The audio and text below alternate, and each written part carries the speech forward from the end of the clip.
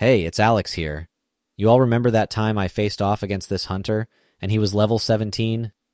Well, I thought it was an easy kill. I would have got him had he not drank a health potion. Damn night elf hunters.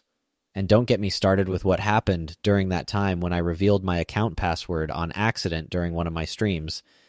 That was quite traumatizing having to see my social media accounts get hijacked by strangers.